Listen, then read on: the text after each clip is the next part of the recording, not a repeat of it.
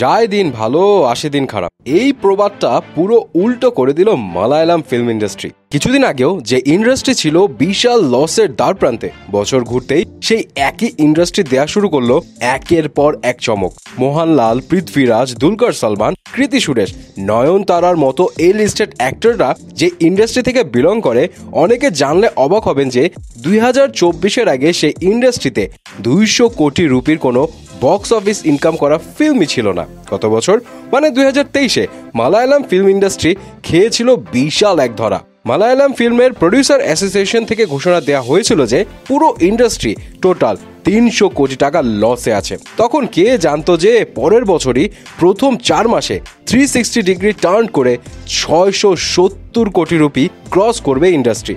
এর মধ্যে এমন এক ফিল্ম আছে যেটা চার কোটি বাজেটে বানানো হলেও কাঁপিয়ে দিয়েছে পুরো বক্স অফিস সবই জানাচ্ছি গসিপসে দুই হাজার চব্বিশে এসে মালায়ালাম ইন্ডাস্ট্রি দেয়া শুরু করেছে একের পর এক হিট জানুয়ারিতে রিলিজ পায় Malayalam film crime thriller Abraham Ozler. মাত্র ছয় কোটি রুপি বাজেটের এই ফিল্ম বক্স অফিসে এমন ধুম মাচাবে, এটা কেউ ভাবতেও পারেনি। এই movie worldwide box office income করেছে বাজেটের আট গুণেরও বেশি। অ্যারাউন্ড পঞ্চাশ কোটি রুপি। তবে আরও বড় ধামাকা অপেক্ষা করছিল পরের মাসে। মুক্তি পেল মালায়ালাম ফিল্ম প্রেমালু। কোনো বড় স্টার নেই, নায়ক নায়িকা দুইজনই নতুন। মাত্র চার কোটি বাজেটের একটা রোমান্টিক কমেডি। কেউ আশা করেনি এই ফিল্ম বক্স অফিসে তোলপার করে দিবে। এস এস রাজামৌলি মহেশবাবু পর্যন্ত প্রশংসা করেছে এই ফিল্মের। এস এস রাজামৌলির ছেলে কার্তিকিয়া এই ফিল্মের তেলেগু ডিস্ট্রিবিউশনের রাইটও কিনে ফেলেন। মালায়ালাম বেল্টে এই ফিল্মে টোটাল ইনকাম চল্লিশ কোটি রুপি, আর তেলেগু বেল্টে কামিয়েছে পুরো একশো তিরিশ কোটি রুপি। সব মিলে চার কোটি বাজেটের এই ফিল্ম ওয়ার্ল্ড গ্রস কালেকশন করেছে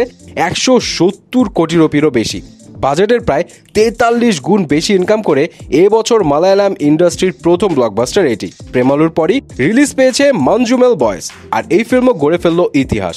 মালায়ালাম ফিল্মের ইতিহাসে প্রথম ওয়ার্ল্ড ওয়াইড দুইশো কোটি রুপি ক্রস করা ফিল্ম মাত্র বিশ কোটি বাজেটের এই ফিল্ম ওয়ার্ল্ড ওয়াইড কামিয়েছে দুইশো বিশ কোটি রুপি। অ্যান্ড হয়ে যায় বছরের second blockbuster legendary south actor মামুতির horror thriller film Bramayugam ছিল বেশ আলোচনায়। তিরিশ কোটি বাজেটের ফিল্ম বক্স অফিসে ইনকাম করেছিল আটান্ন কোটি সত্তর লাখ রুপি। এই হিট ফিল্মে মামুতির অ্যাক্টিং নজর কেড়েছিল ফিল্ম লাভারদের আর পরের মাসে রিলিজ পেয়েছে পৃথ্বীরাজের দ্য গোট লাইফ যে মুভি নিয়ে প্রচুর আলোচনা হয়েছে।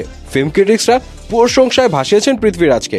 বিরাশি কোটি রুপি বাজেটের এই ফিল্ম বক্স অফিসে অ্যারাউন্ড কামিয়েছে একশো একান্ন কোটি আটত্রিশ লাখ রুপি এবং পেয়ে গেছে হিটের তকমা। এপ্রিলেও রিলিজ পেয়েছে বেশ কিছু মুভি আর পুরো বছর তো বাকি আছে।